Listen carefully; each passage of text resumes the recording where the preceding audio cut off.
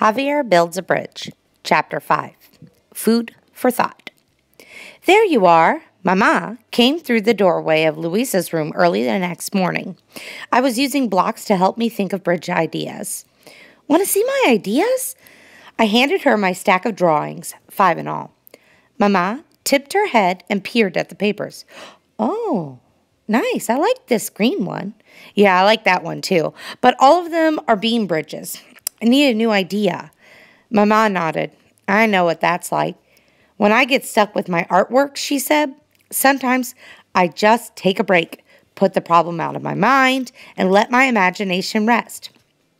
Want to leave all this for a while and help us make tamales? Tamales? I'd forgotten. This afternoon, we were having a big family party for Abuelito and Abuelita's 50th wedding anniversary.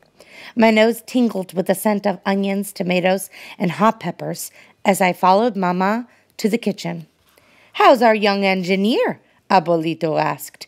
He sat at the table while Abuelita spooned the special batter of corn masa into sheets of corn husks, and Luisa helped spread it flat. I gave everyone an update about my bridge, but soon we were talking about the party. My two favorite cousins were coming Manny from San Francisco and Jennifer from Tennessee.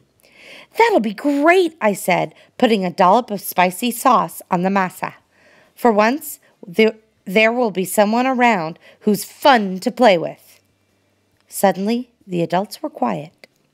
Abuelito cleared his throat. Javier, listen up.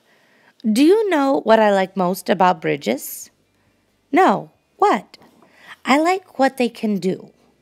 Imagine a person on one side of a valley and someone on the other side. What happens when they build a bridge across the gap? I shrugged.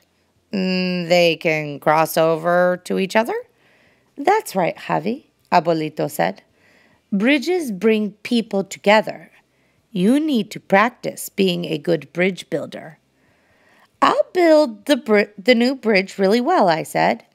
It's not the new bridge I'm talking about, it's your family. You can bring them together. People can't build bridges without kind words and patience, Abuelita added. Those are your tools now. What were they talking about? I wondered.